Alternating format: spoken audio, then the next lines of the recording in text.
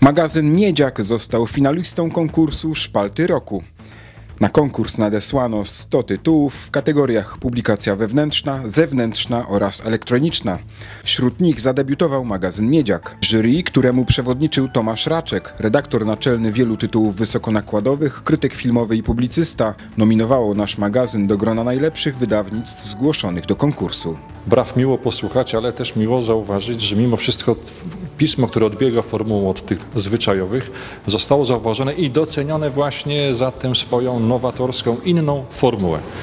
Ucieszyliśmy się z tego wniosek, że trzeba pracować nad tym, żeby być nie tylko finalistą, ale w ogóle dostać złotą szpaltę. W kategorii magazyn dla pracowników nakład powyżej 5000 egzemplarzy złote szpalty przyznano dla magazynu Głos Lasu zgłoszonego przez Centrum Informacyjne Lasów Państwowych za efektywne przedstawienie życia lasu oraz za poetyką tytułów.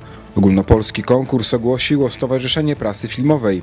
Misją SPF jest kształtowanie i upowszechnianie wysokich norm i standardów działalności wydawniczej.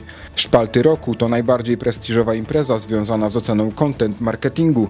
Ocenia je niezależne jury, w którego skład wchodzą najlepsi specjaliści z dziedzin związanych z branżą wydawniczą.